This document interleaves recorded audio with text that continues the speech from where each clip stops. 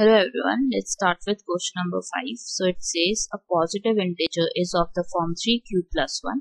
q being a natural number can be write its square in any form other than 3m plus 1 that is 3m or 3m plus 2 for some integer m. Justify your answer. So in this case we are given that we need to check whether we can write 3q plus 1 in the form of 3m or 3m plus 2 or 3m plus 1. So in this case again we would be using Euclid's division lemma that is a equal bq plus r and b in this case is 3 and r lies between 0 and b. So r b. So it can li it lies between 0 and 3.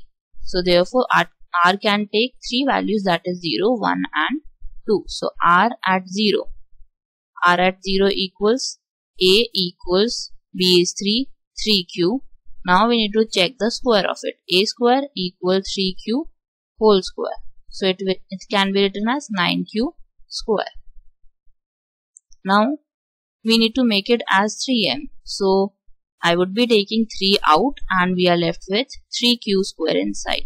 So 3q square can be written as m. You need to define that where m equals 3q square. Now the next is r equals 1. So it is a equals 3q plus 1. a square equal 3q plus 1 whole square.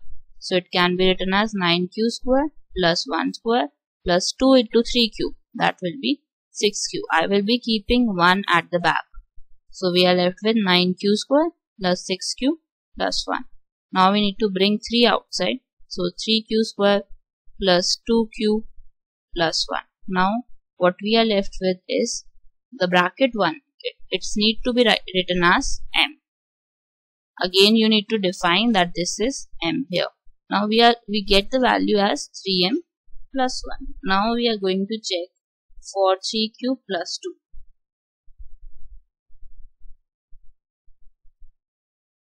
So 3q plus 2 now for r equals 2. a becomes 3q plus 2. Now we need to take square of it. So 3q plus 2 whole square equal 9q square. 2 square is 4. 4 plus 3q into 2 into 2 that will be 12q. Now I will bring 12q ahead and will split 4 as 3 and 1. So plus 12q plus 3 plus 1. Now in this case what we can take common from first three term is 3. So we are left with 3q square plus 4q plus 1 plus 1. Now whatever is in the bracket it can be written as m. So it is 3. It, it is in the form of 3m plus 1. So we can justify our answer as by saying that we get 3m in the first case. In the second case again 3m plus 1. Again in the third case we get is 3m plus 1. So we can just uh, conclude that a perfect square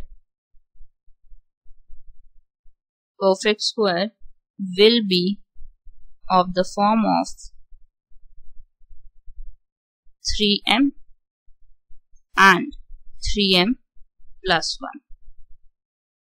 So that's your answer for question number 5.